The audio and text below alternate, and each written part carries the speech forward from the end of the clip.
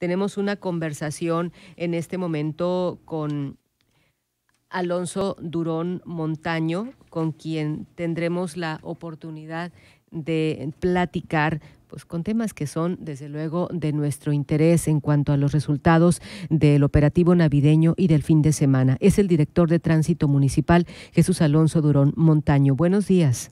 Muy buenos días, Katia. Muchas gracias a la orden. Gracias. Estábamos en este momento mm, dando a conocer hace unos minutos y en hace un momento retomábamos la información de los reportes que las autoridades hacen eh, el esfuerzo, el llamado constante a, a los ciudadanos para evitar que se hagan fiestas durante estos días y, y de pronto vemos cómo el esfuerzo no siempre eh, recibe un resultado o una respuesta favorable y de pronto la policía municipal anda de un lado a otro atendiendo reportes y más reportes en este operativo navideño que están realizando. Es correcto, Javier. Eh, si bien podemos decir de que el 24, el operativo que implementamos con los operativos Carrusel, los sitios de polimetría, eh, se registró eh, mucha tranquilidad, estuvo muy calmado a las 12 de la noche, ya estaba prácticamente algo sola la ciudad, eh, las vialidades estaban sin, sin vehículos, hubo solo un cambio de conductor el 24 de la noche, no se detectaron, no se detectó la conducción punible en, los, en los sitios de alcoholimetría. En general estuvo muy tranquilo, sin embargo, no podemos hablar de un saldo blanco porque se atendió el día 25, se atendieron eh, siniestros de tránsito donde nos arrojaron personas lesionadas, eh, hubo ahí un par de choques con volcadura y vehículos abandonados, eh, unos de, de, consideración como uno que se atendió aquí en la Nueva Hermosillo, que fue ahí lamentablemente un menor de edad, un menor de edad perdió la vida como consecuencia de este siniestro de tránsito donde el vehículo estaba abandonado, donde posteriormente eh, solicitaron la presencia de la autoridad de tránsito para tomar nota del caso legal del hospital de un menor que tenía lesiones por participación de un, de un hecho de tránsito. Eh, no podemos hablar de ese saldo blanco porque hay familias que, que ahorita están pasando por estas situaciones. Eh, fue nuestro principal objetivo el, prevenir todo, todo tipo de siniestros, hechos de tránsito. Eh, esa fue nuestra función. El operativo se había levantado el día 25 a las 6 de la mañana eh, con un saldo sin novedad, sin, sin, sin, accidentes, sin siniestros. Sin embargo, en el transcurso del día, el día 25, se estuvieron registrando diferentes siniestros. Todavía viernes atendimos siniestros con personas lesionadas, sábado.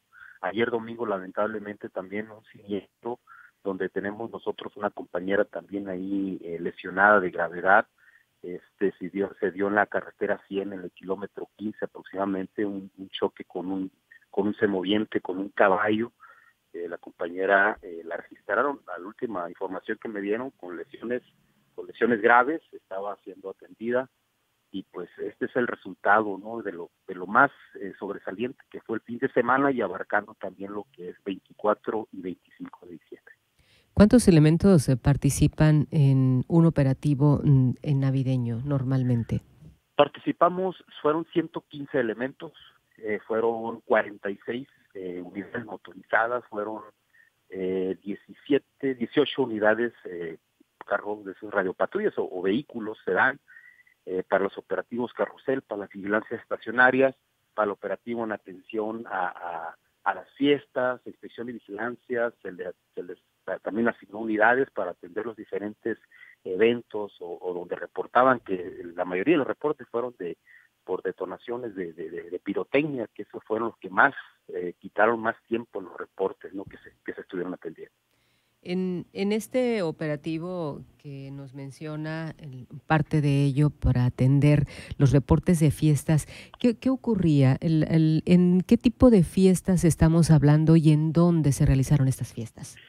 Bueno, de los lugares ahorita a la mano no lo tengo, sin embargo, los reportes eh, que se atendieron fueron de reuniones eh, de jóvenes, es lo, normal, que, tienen eh, música alto volumen, que tenían alguna, se juntaban en la vía pública, que tenían escándalo, eh, este es el tipo de reportes que se, que se atendieron, ¿no? Eh, los otros, los más recurrentes, que fueron los de, los de pirotecnia, los de...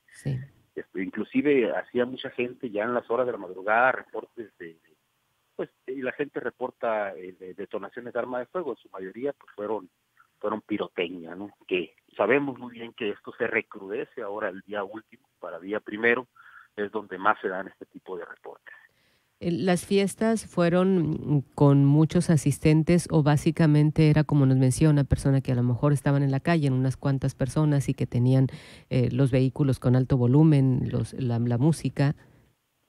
Sí, no, no fueron reuniones eh, con muchas personas.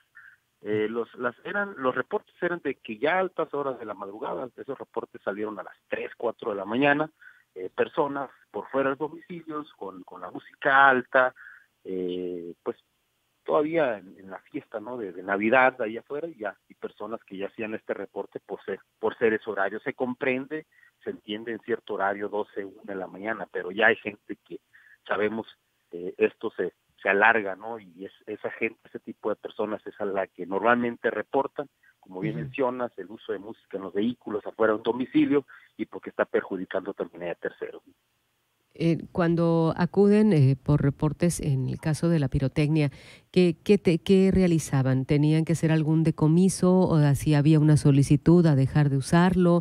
¿Qué pasa en estos casos?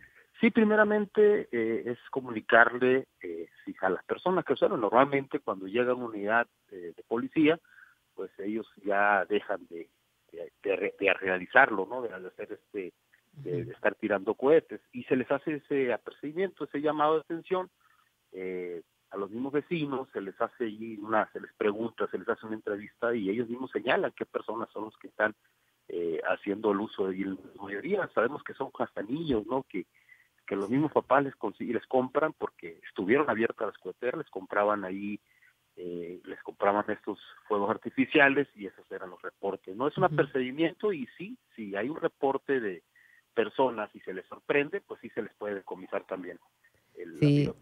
El asunto es que son los propios adultos los que no, no atienden las recomendaciones que hacen las autoridades y, ellos mismos son los que están jugando. Filas, largas filas en estos negocios de venta de, pirotecnia se observaron el puro día 24, ya tardes horas de la noche, filas eh, de gente, eso sí, adulta, ¿no? En su mayoría adulta, eh, comprando o, o, ya eh, haciéndose de estos de este tipo de pirotecnia. ¿Qué habrán de realizar para este fin de semana, para fin de año, un operativo similar? Es un operativo sí similar, sin embargo, eh, sí se extiende un poco el horario. Sabemos que en Año Nuevo ahí sí se atienden, hemos atendido nosotros siniestros eh, hasta las seis de la mañana. Nos ha tocado en otros años, tenemos ese antecedente de que muchas veces eh, a las cinco de la mañana vemos prácticamente que la ciudad empieza a bajar eh, la movilidad y a las 6 de la mañana se empiezan a dar eh, siniestros de tránsito de persona que anda eh, amanecida en estado de ebriedad y que nos provocan nos provocan accidentes que nos pueden tener resultados con personas lesionadas. se extiende el horario, sabemos nosotros que ese horario se va a extender hasta probablemente 6 de la mañana, 7, el mismo operativo, hasta que ya haya concluido el turno sin novedad. ¿no? Esas, esas son las instrucciones que tenemos de nuestro comisario el operativo sí es similar, sin embargo, se atiende diferentes problemáticas, son diferentes los reportes que se atienden, o más, en su mayoría son más los reportes que se atienden, y pues extender los horarios nosotros, ¿no? El operativo carrusel, los filtros de alcoholimetría y todo lo que es la vigilancia estacional. Muy bien, pues agradecemos mucho su participación. Gracias Jesús Alonso Durón Montaño, director de Tránsito Municipal, por habernos brindado esta información. Que tenga buen día. Muchas gracias, que a la orden. Gracias, buen día.